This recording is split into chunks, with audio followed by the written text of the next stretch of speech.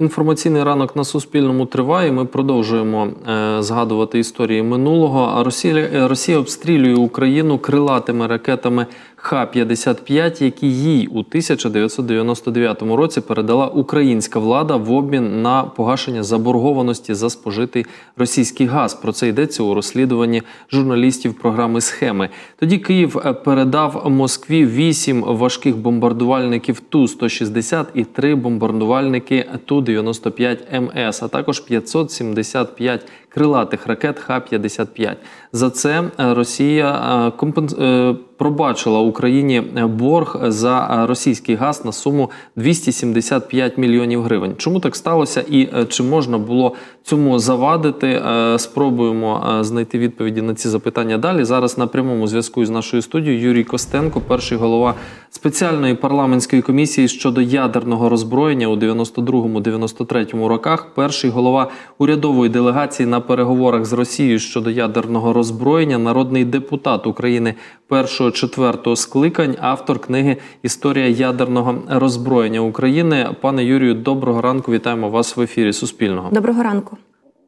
Доброго здоров'я і зі святом незалежності. Е, навзаєм і вас е, з Днем Незалежності України, пане Юрію. Е, я читав, що одним із причин цього рішення про відмову від ядерної зброї було те, що дорого молодій українській державі було її обслуговувати. Розкажіть, ви були учасником тих подій? Як все було насправді? Чому які були причини прийняття такого рішення? Першопричини? Рішення про руху до без'ядерного статусу на превеликий жаль, приймалося не незалежною Україною, а ще Українською РСР, парламентом Української РСР у 90-му році. В декларації про державний суверенітет е, було висловлено бачення е, майбутнього України без ядерного. Чому так сталося? Е, це окрема історія, але звичайно суттєво вплинуло на це рішення і Чорнобильська катастрофа яка е, в 86-му році е, фактично накрила всією е, всю територію України радіаційною хмарою, і в умовах цієї катастрофи також було прийнято рішення про заборону використання ядерної енергії в Україні. Мораторій було накладено на подальше будівництво АЕС. З іншого боку, коли вже було проголошено незалежність, то український парламент розробив е, стратегію руху до без'ядерного статусу, яка повинна була е, здійснюватися поетапно. Е, з допомогою фінансування ядерного роззброєння іншими країнами, які в цьому були зацікавлені, з входженням України в загальноєвропейську систему безпеки, тобто в НАТО, і в набуття членства в Європейському Союзі. Саме таку стратегію Верховна Рада розробляла тією спеціальною комісією, яку я очолював, і ця стратегія була втілена у подальших рішеннях Верховної Ради. Зокрема, це була постанова, яка забороняла вивозити тактичну ядерну зброю, постанова квітня 92-го року, і за якою Росія Е, якщо будуть переміщуватися боєголовки на Росію, Росія повинна була здійснювати разом з Україною міжнародний контроль за знищенням ядерної зброї. Друга, друге рішення парламенту е, в 93-му році це вже коли ратифікували угоду старт 1 про скорочення стратегічних наступальних озброєнь. Згідно цього рішення, парламент лише ухвалив знищення 36% носіїв і 42% ядерних стратегічних боєзарядів. Все більше рішень парламенту щодо знищення чи передачі кому-небудь своєї ядерної зброї ухвалено не було. Нагадую, що згідно діючого на той час законодавства, в першу чергу конституції, виключне право розпоряджатися майном що належить українській державі, мала лише Верховна Рада України. І без дозволу Верховної Ради України жодні інші рішення уряду це мали не юридичну силу, вони лише мали певну політичну силу. Отже, можу абсолютно відповідально заявити, що оборудка 99-го року щодо передачі стратегічних носіїв з крилатими ядерними ракетами Росії, вона абсолютно протирічить рішенням українського парламенту, і це є державним зра, державною зрадою, державним злочином. На превеликий жаль, ми жили в умовах, е, як ви знаєте, закони. Е, як в радянському союзі, колишньому говорили, закон, що дійшло, кудись керував, туди і вийшло. От за таким принципом продовжувала діяти е, виконавча влада України, яка керувалася здебільшого не рішеннями уже української влади, українського парламенту, а керувалася як і раніше настановами із Кремля, і саме Кремль. Розробив всю цю стратегію передачі їй третього ядерного потенціалу, який він не знищував, а використовував у своїй ядерній зброї, що протирічило і декларації, яка говорила про знищення ядерної зброї, і рішенням усім українського парламенту. Ось такі були реалії, які призвели до цього і ганебного рішення 99-го року, як і власне кажучи, передачі в руки потенційного російського агресора усіх без виключення ядерних боєголовок. Це і е, нагадаю, це приблизно 5 тисяч тактичних і стратегічних ядерних боєголовок, е, близько трьох половиною тисяч тактична зброя, решта це стратегічна ядерна зброя. Ця зброя сумарно коштувала. За нашими оцінками спеціальної цієї робочої комісії більше 100 мільярдів доларів Україна отримала натомість у вигляді ядерного палива приблизно на 1 мільярд доларів так званої компенсації, включно і з тим, що Росія так так звані борги енергетичні списувала. Щодо боргів, це було окреме дослідження парламенту. Ніяких боргів українська економіка перед Росією не мала енергетичних.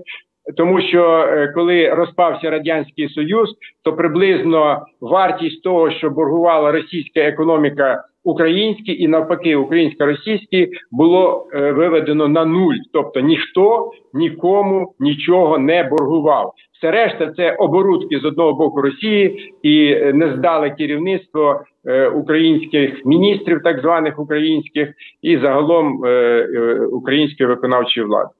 Пане Юрію, на той час, в 90-х, чи розуміли взагалі українські політики, до чого це все може призвести, і чи були взагалі інші варіанти, аби так не робити? Звичайно, були. Е, коли я був призначений е, головою державної делегації першим, е, до речі, саме мій наступник у 93-му році підписав угоду про передачу боєголовок Росії. Я вів також переговори не тільки з Росією, яка не визнавала наше право на ядерні боєголовки. Вона казала, ви їх не виготовляєте тому це наше віддавайте. На, на що я заперечував тим, що Україна виготовляла найпотужніші носії на південмаші, е, які називалися Сатана, які стояли на озброєнні на території Російської Федерації. Я казав, а носії це чиї? Ваші чи наші? Ну, звичайно, наші, вони ж на нашій території. Так як я кажу, і ядерні боєголовки на нашій території, тому що тому це і є наша власність. Але таку позицію мав лише один представник демократичної опозиції в Верховній Раді. А решта, здебільшого комуністів, керувалися е, тим, що Росія це братній народ, що е, Росія ніколи на нас нападати не буде.